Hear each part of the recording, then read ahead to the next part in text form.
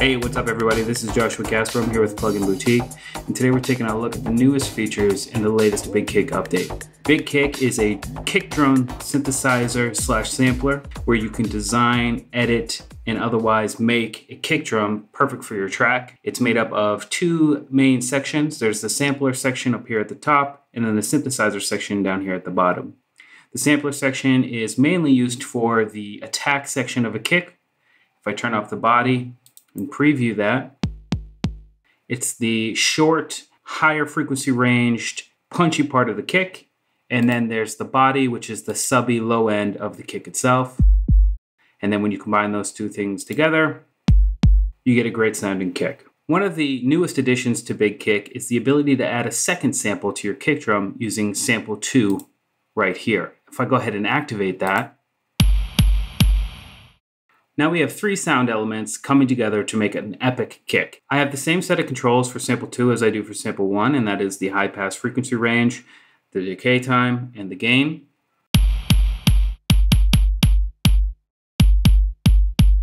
Big Kick ships with a number of banks of attack samples, and you can find them right here in the factory settings under the bank button. And as you can see, there are quite a few wave files in each one of those that you can switch through. You can load two of those samples at the same time by using the banks. Or you can drag and drop samples from your sample library. Here I have some kick samples. I can just drag them right into the drop down menu. And not only is that sample loaded now, but the next and previous buttons will go right through that pack wherever those files are located. That's awesome. Working our way down, we have the display window.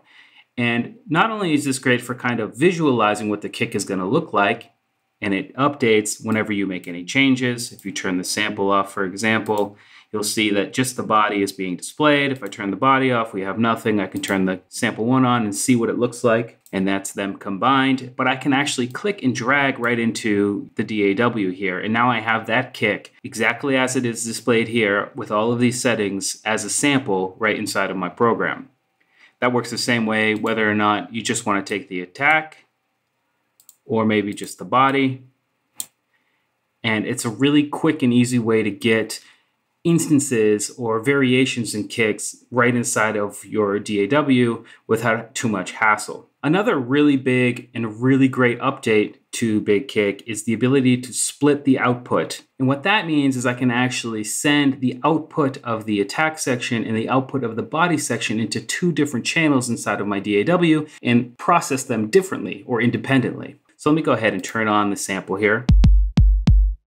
And the way to do that in Ableton Live is to make a second MIDI track, come up to instrument, drop external instrument on there, go over to MIDI 2, big kick, and the last thing we need to do is inside of the big kick GUI, there's a split output button. We turn that on. And if you look at my two channels now, they're both getting audio.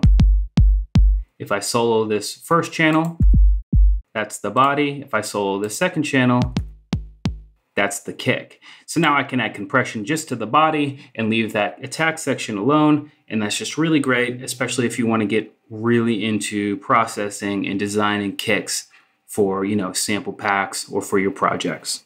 Big Kick now ships with a number of teasers from the expansion pack libraries available on Plugin Boutique. If we open up the file here, we can go to expansion samplers. Now these all come with the download of Big Kick, and there's four for each one of these expansion packs.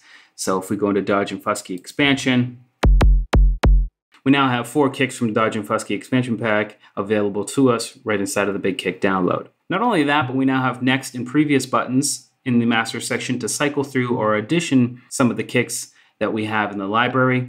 Just hit next, next. And if we want to go back, just hit previous.